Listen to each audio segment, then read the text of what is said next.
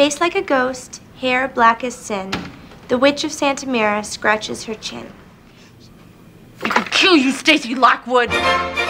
Cheerleading trials will be held at 3 o'clock this afternoon. Good luck to each and every one of you. She's maybe the most popular girl in the sophomore class. Why sell for choice when you can have prime? Sometimes she's not very nice, but she's so good at everything.